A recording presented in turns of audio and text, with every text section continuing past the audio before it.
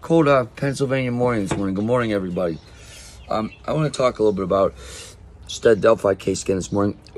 I had um, I had not really given too much of a background or back back reasoning of my theories or what I'm thinking to date, but um, I watched um, someone had made a comment on my video asking what I thought about Red Zeppelin's um, POI. I again, um, if you watch my previous videos, if you see me disproving the Klines, the connection, and et etc. etc. Uh, yeah, I guess in fewer words, I'm saying the same thing he is of we're not looking for a sexual predator. That totally and completely makes sense. That totally and completely draws in line with me. We're trying to knock down, again, yes, makes sense, Red, for sure. Um, I agree with that um, aspect of what he says. And the bigger, the bigger picture that I was already planning on making a video about and planning to put out was the fact that this man was is dressed in railway attire, if you will.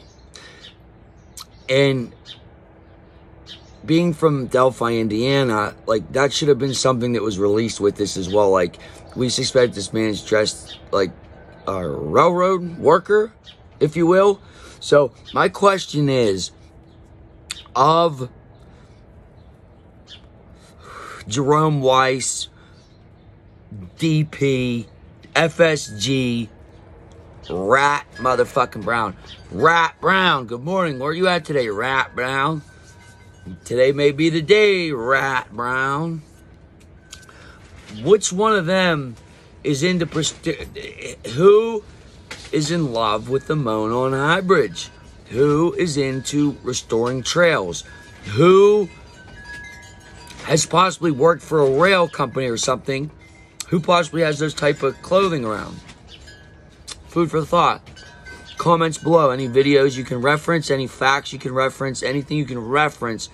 My emails and my community page, you can send it that way and I can put it on a video. But please, I'd rather search for fact here, not opinion. And again, appreciate it. Have a good day, guys. Any questions? What would you like a video on? Put it in the comments below. Thank you.